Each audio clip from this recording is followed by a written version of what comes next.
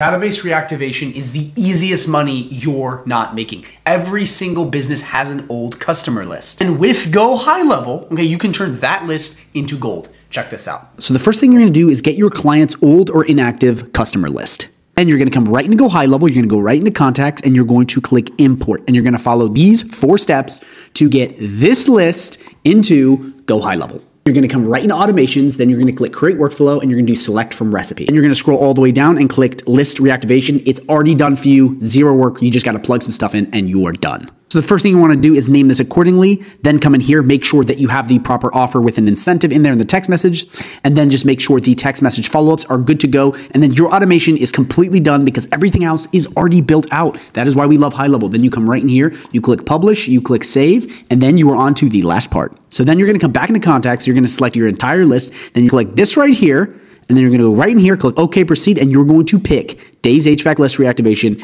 put in the activation, which would be database reactivation, click add to automation, and you are done. If you want to learn more about database reactivation, make sure you watch the full video on my YouTube channel.